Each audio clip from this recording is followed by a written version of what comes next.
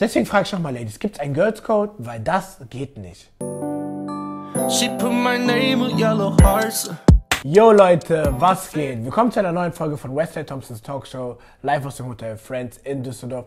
Ich hoffe, euch geht's gut soweit. Ich hoffe, ihr habt mein letztes Video mit Onkel D genossen. Falls nicht, checkt es auf jeden Fall ab. Link ist in der Beschreibung. Ansonsten würde ich mich über ein Abo und ein Like über dieses Video freuen. Dann würde ich sagen, reden wir gar nicht lange drum herum. Und wie ihr dem Titel entnehmen könnt, reden wir heute über Freunde und Freundschaften und Dinge, die halt wichtig sind und allem drumherum. Dann würde ich sagen, legen wir direkt los. Und ich würde sagen, viele sagen halt oder behaupten zumindest, Freunde sind das Wichtigste im Leben oder sind sehr wichtig für einen. Für mich persönlich muss ich sagen, Freunde sind ein schönes Plus im Leben. Braucht man sie wirklich? Ich weiß es nicht so genau, um ehrlich zu sein. Ich persönlich bin nicht der Meinung, dass man Freunde so dringend braucht. Ja, es ist sehr schön, Freunde zu haben. Manchmal ist es sehr nice, Leute um sich herum zu haben. Aber who checked on you? So, weißt du, was ich meine? Eines Tages muss ich manchmal fragen, wer fragt nach dir, wer fragt, wie geht's dir, dies, das, tralala. Und wenn manche, manche macht es einfach nicht so. Und deswegen, für mich persönlich ist Freunde ein sehr schönes Plus im Leben, aber sind sie grundsätzlich so wichtig, wie man sie, wie man es heutzutage sagt? I don't know. Auf jeden Fall dann zum Beispiel, ich muss sagen, heutzutage entstehen Freundschaften sehr komisch durch Social Media und alles drumherum so. Ist ein nice, es hat einen nice Beigeschmack, aber irgendwo finde ich, diese Freundschaften sind alle sehr oberflächlich, muss ich sagen, weil so, du weißt nicht viel über diese Person, du lernst sie über Social Media kennen, jeder kann sich über Social Media präsentieren, wie er will. Und deswegen sind es sehr oberflächliche äh, Freundschaften, weil nach welchen Werten bewertest du, mit wem du jetzt cool bist oder nicht? Weil ich kann auch dasselbe posten, was du postest und dann auf einmal sind wir Freunde, so, I don't know.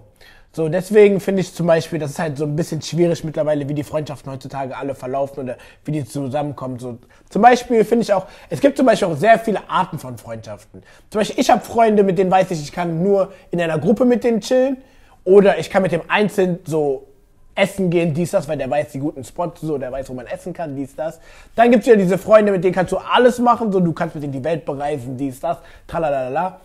Und es gibt dann auch Freunde, mit denen kannst du halt nur so in einer Gruppe was machen, weil du alleine mit dem nicht klarkommst. Aber ihr seid trotzdem Freunde, man mag sich so, man versteht sich, aber halt nicht alleine, weil der geht dir dann nach einer Zeit voll auf die Nerven einfach oder sonst irgendwas so. Diese Art von Freundschaft gibt's halt auch. Und ja, deswegen ist es so. Und dann zum Beispiel finde ich halt, es sollte in einer Freundschaft auch wichtig sein, dass man voneinander profitieren kann, was aber auf einer 50-50 Basis beruhen sollte, wo ich was von dir haben kann und wo, oder sagen wir mal, ich ziehe irgendwie weiter oder entwickle mich weiter und komme zu einem Punkt, wo ich meinen Freunden helfen kann, dann solltest du auch deinen Freunden diese Möglichkeit geben, zu helfen, weißt du, ich meine. Aber es sollte nicht sein, dass jemand von, zum Beispiel nur von dir nimmt und du gar nichts davon hast, weißt du, dann ist diese Freundschaft so. Weil mittlerweile sehe ich sehr viele Freundschaften, die darauf beruhen, dass jemand nur von dir profitiert und nur was von dir nimmt und du hast eigentlich gar nichts von dem. So. Du, bist mehr ein Mehrwert für den als der für dich, der ist eigentlich nur ein Ballast. So. Deswegen finde ich halt, Freundschaften, man sollte sich gegenseitig mitziehen und mit, gegenseitig motivieren, statt nur, dass der eine immer was macht und dann äh, zum Beispiel, dass dann halt der andere sagt, ja, ähm, der äh, verändert, weil der jetzt das und das macht und so.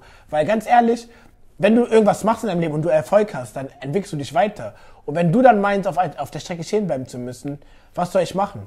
Ich habe dir angeboten, ich habe dir geholfen, versucht zu helfen, du wolltest das Angebot nicht annehmen, was soll ich machen? So, wisst ihr, was ich meine? Und eine Sache, die ich für mich persönlich entdeckt habe, ist so zum Beispiel, ich finde zum Beispiel, Männerfreundschaften entstehen viel natürlicher irgendwie als die von Frauen. Kann das sein?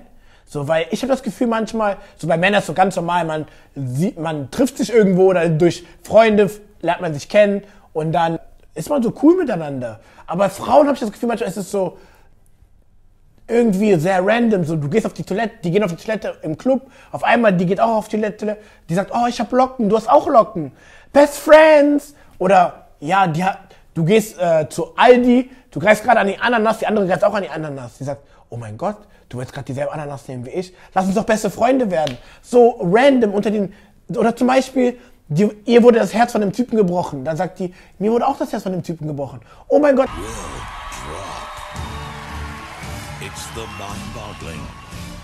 Lass uns doch beste Freunde werden. So random einfach. Frauen werden durch die randomsten Gründe immer befreundet. Wenn du die meisten Frauen fragst, wie die sich kennengelernt haben, boah, eigentlich mochte ich die vorher gar nicht, aber dann und dann und dann und dann, hä? Like, what? So, no front an Frauen so, ne? Aber ich finde halt, ist es meine persönliche Meinung, vielleicht liege ich auch falsch.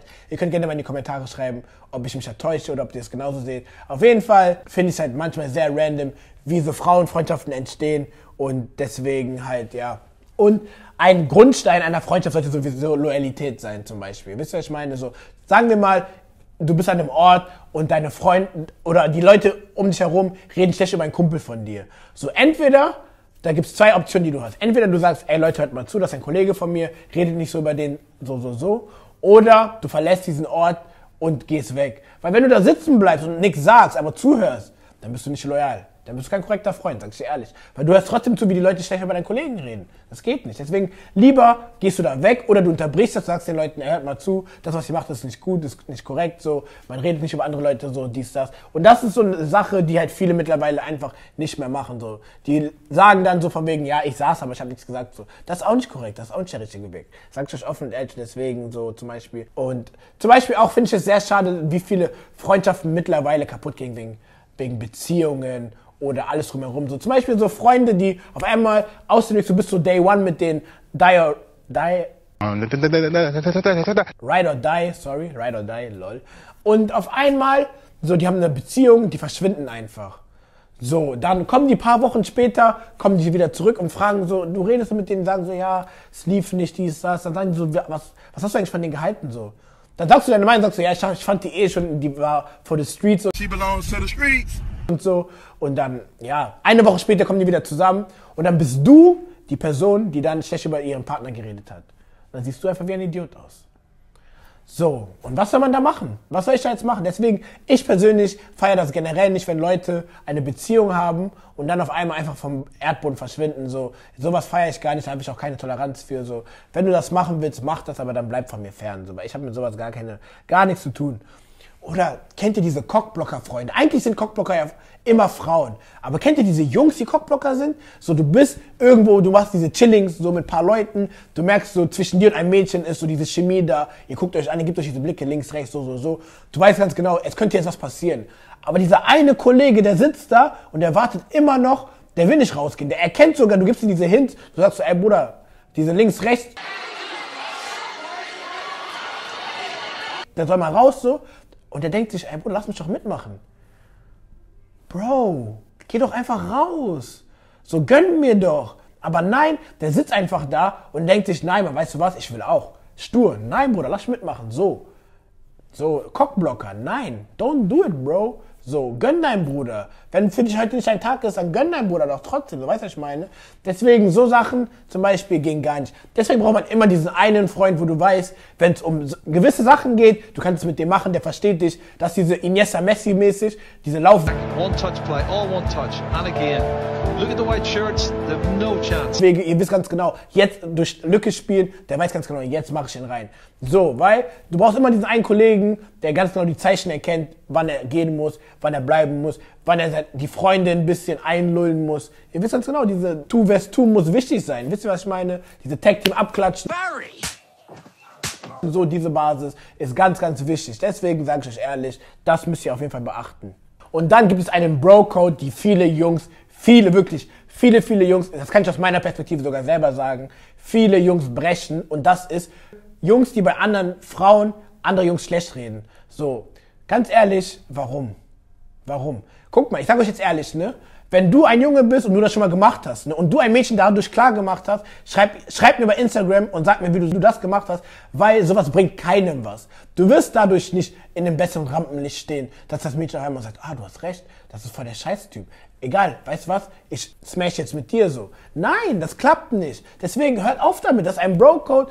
Mach einen Bruder nicht bei einer anderen Frau schlecht, nur damit du besser dastehst. Wer macht sowas? Und dasselbe geht auch für Frauen. Ladies, genau dasselbe geht auch für Frauen. Weil ich kenne solche Leute, die sowas machen. Am Ende des Tages, du gehst zu einem Mädchen hin und sagst zu der, ja, guck mal, Wester ist voll der Spaß hier, mach nichts mit dem und so, so, und so, so. Dann kommt die zu mir und erzählt mir das, dass du das über mich gesagt hast. So, dann komme ich zu dir und dann bist du der Dummkopf und sagst, äh, äh, fängst an zu stottern. That you, um, you had, you, you, you. So, warum?